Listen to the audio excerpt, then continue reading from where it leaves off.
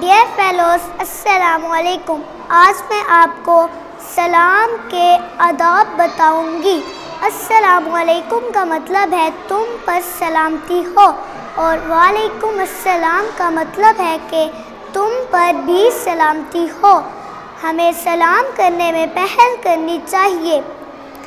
सलाम सलाम में दस नेकियाँ मिलती हैं। शुक्रिया।